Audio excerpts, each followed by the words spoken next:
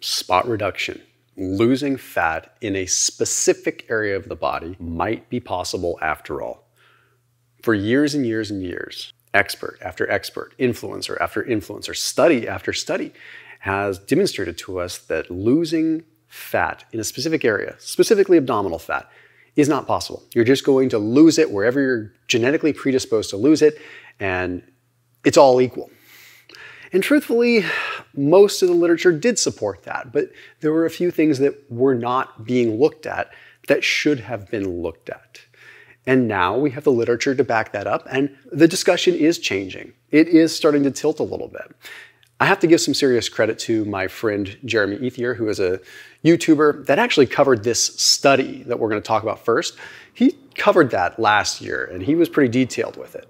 But what I want to do in this video is break it down a little bit more, also look at some other studies, look at some limitations of that study, but then look about how we can really practically apply this. So big shout out to Jeremy. He's an awesome guy.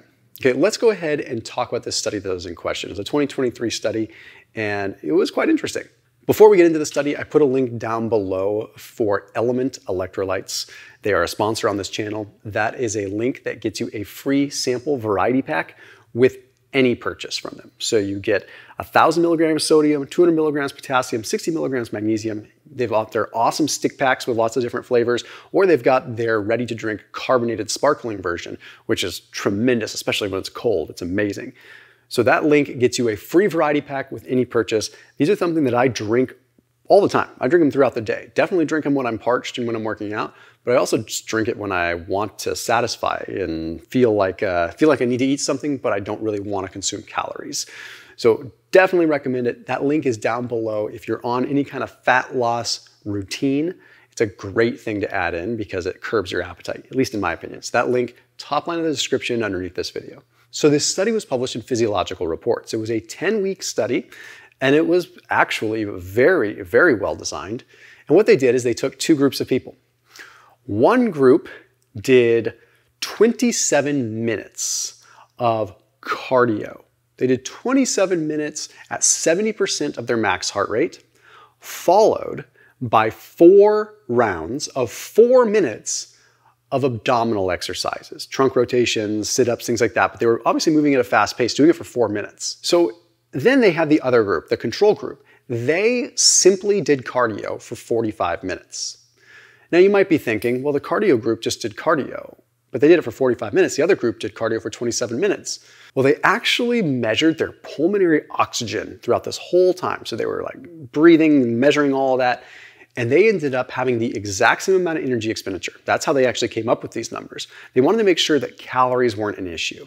They wanted to make sure that one group didn't burn more calories than the other because they really wanted to see does one group burn more fat in the abdominal region or is it equal? So exact energy expenditure was matched, which was the most important thing that we probably could have looked at with this. The findings were unreal.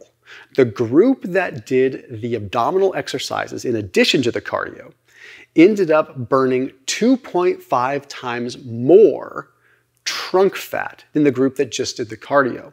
But the total amount of fat that they lost was the same. So both groups lost the same total amount of fat. It's just that the group that did the abdominal exercises ended up burning specific belly fat. You can't really deny that. This study is really well designed. But we do have to look at a couple limitations. There's always limitations that we can find. But the simple case in point is that what was required was for there to be an actual stimulus to burn fat. Because all the previous studies, that's what we have to look at. Is like, well, what did the previous studies look at? Why were they wrong? Why is this one all of a sudden showing that you can? Because the previous studies weren't really adding cardio into the mix. They were just saying, let's do specific abdominal crunches and see if people burn fat there as Jeremy said in his video, which is very accurate, is that would mobilize fat, but that doesn't necessarily give you the impetus to burn it. So there's two elements, right? There's mobilization, lipolysis, and there's oxidation, actual fat burning. So sure, if you do a bunch of crunches, you're gonna mobilize fat. Doesn't mean you're burning it, but you're gonna mobilize it. So when cardio was added into the equation, they actually looked at both sides of the equation. But the limitations of the study are important to note. Probably the biggest limitation that we could look at, especially me as a diet guy, is what were they eating? Well, the diet was not controlled. So some people would throw this study out the window immediately and say the diet's not controlled. However, What's interesting is that since the total fat loss between both groups was the same, I'm inclined to think that the diet didn't really make that much of a difference. Otherwise, you would have seen a huge discrepancy between the two, or at least it averaged out. You had some good dieters, some bad dieters in one group, some good dieters, some bad dieters in the other group, and you end up with the same amounts. But they ended up with total fat loss being about the same, so we're in a good spot there. Now, additionally, the control group was slightly leaner to start. It is easier to have a whoosh effect and burn more fat in the very beginning when you have more fat on you. So that is something that we could bring into question, but not at a two and a half times the amount, right? The only difference was the fact that they did ab work. Literal, the only difference. The ab work group lost two and a half times more fat than the non-ab work group. That is not something that would have been determined by having a little bit more, negligibly more fat to start with or not. So I'm not concerned about that, although I'm sure it did contribute to some advantage, but not like people might think. Now, Jeremy cites some other studies, and I'm also going to cite additional studies, but one particular study that he cites is one that I've talked about in another video before. And I have come under fire because of that video, because it, it didn't really explain everything thoroughly, but it did give me a hunch that spot reduction could be possible years ago, but it's one of those things where I just wasn't comfortable really making a super hard stance on it. The study was published in the Journal of Sports Medicine and Physical Fitness. Essentially, it found that when people were training lower body specifically, they would lean out in the lower body, or train upper body specifically, they would lean out more in the upper body, essentially showing that there was a preferential fat oxidation for whatever region of the body was being trained. The hard part is, is think about your core you're not like really, really pumping blood flow to the core. As a matter of fact, one could argue that you're pulling blood away from the core, away from a lot of stuff when you're actually using your extremities, which when you start thinking about it, like capillary density and like blood flow to an area, tissue perfusion is quite important for substrate utilization. We do know that during like certain activities, like you're pulling way more blood to your legs and upper body than going to your core. It's one of the reasons why you might get nauseous when you really exert yourself. But if we look at the mechanisms and we understand tissue perfusion, let's look at what was said in a particular study. I'm just going to read a quote from it. Higher mass specific rates of fat oxidation during large muscle mass exercise are due to increased perfusion and favorable oxygen delivery conditions.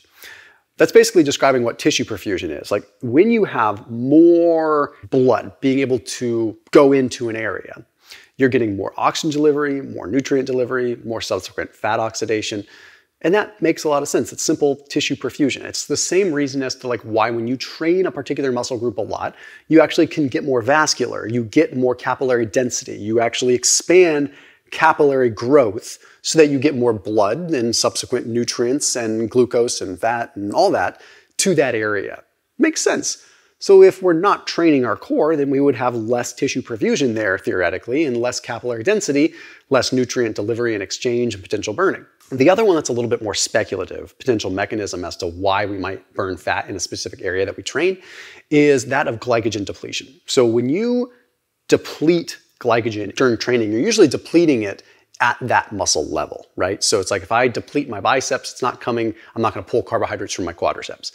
So in that same theory, if you deplete glycogen in my bicep, then wouldn't it make sense that that would be the first place you'd start to burn fat because you've already depleted glycogen? Like you drain through your carbohydrate stores, so then you'd start to pull fat. But if you're doing resistance training, you're not going to really be oxidizing fat as your primary source. So you would have to go through a process called gluconeogenesis, which where you convert the glycerol backbone of a triglyceride, and that gets converted and goes back to the liver to turn into glucose for that muscle to use. From my experience researching gluconeogenesis, I don't think that once it goes through to the liver, that it would preferentially go back to where it came from. So in other words, if I took fat from the quadricep and it went to the liver and ultimately converted into glucose via gluconeogenesis, I don't think that it's required to go back to the quadricep. I think once it's converted, it could go anywhere. So that mechanistic theory is a little bit less plausible to me. However, I don't think it's been directly studied. It just seems less plausible. Maybe it's doable. In either way, we're looking at this, an increase in blood flow is going to probably increase fat loss. Another thing we have to look at is regions of the body, because there's a study that was published in Trends in Endocrinology Metabolism, and it found that like when you train upper body, there's a higher degree of fat oxidation because there's more blood flow pumping into your upper body, closer to the heart. There's also a certain level of like vigorous activity that goes into like moving the upper body in sort of an anaerobic like fashion. Now, in addition to that, there seems to be a little bit more hormone sensitive lipase circulating that could allow the upper body to lean out more. But it's interesting because if you look at the difference between men and women, for example, women have more alpha 2 receptors in like their glutes, and their hips, which would inhibit fat loss in that area. Now, the reason I mention this is because a lot of the studies really are only looking at men, which make it difficult to really understand like maybe that's what's skewing the data. Maybe it's easier for men to lose in the abdomen, harder for women, and that skews the data. But again, it doesn't completely debunk this study. It just maybe throws one more little wrench in it. Probably one of the biggest things that we need to look at, however, is that of training status. Essentially, if you have someone that is more well trained, they might just be better at utilizing fat. So there's another study that we can look at that helps us understand this. This study was published in the journal Sports Science and Medicine and it divided people into their 10K time trial times and their VO2 max. So basically put more athletic people with higher VO2 max in one category and lower with lower. What they found is that people with a higher VO2 max, they ended up having a higher level of fat oxidation maximum threshold. Basically, they could burn fat at a higher intensity. But what was interesting was that it took the same amount of sort of like percentage of intensity to reach their relevant fat max. What that means is that wherever your fat max is, the, the amount, the maximum amount of intensity that you can go before you're not burning fat anymore and you're burning carbs, it's higher for trained people. They can go further and farther and faster using fat before they switch to carbs. But the level of intensity is going to be relatively the same to reach their actual relative max, if that makes sense. So even if my max was 60 and Bob's max was 80%, where they stopped burning fat, it would still take the same amount of intensity to reach our respective maxes. What that tells us is that someone that is trained and well established, they're going to be able to burn more fat at the same intensity as me they're just going to burn more fat, even though we're training at the same intensity. Which tells us that just as a whole, they're probably better at fat utilization, not to mention more mitochondrial density, more machinery to actually burn fat, more capillary density, so more blood flow to an area to burn said fat, not to mention a more favorable hormonal environment more efficient use of hormone sensitive lipase, the body just knows what to do. With that, I don't think that someone that is severely overweight can go and do a bunch of sit ups and see a noticeable change in their belly fat. But what I do think can happen is as you start getting down to that 10, 12, 15% body fat region, it's highly plausible that you could train yourself by adding aerobic work and cardio, like involved abdominal work, like hanging leg raises, things like that. And you could very well see a noticeable difference.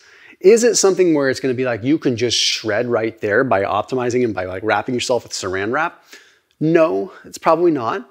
But again, the leaner that you get and the more trained that you get, the more plausible it becomes that you could actually spot reduce. Bodybuilders have talked about this, like they'll train high reps in a certain area to lean out in a certain area. It's woo-wooey, but they've talked about it for a long time and it seems to kind of work for them.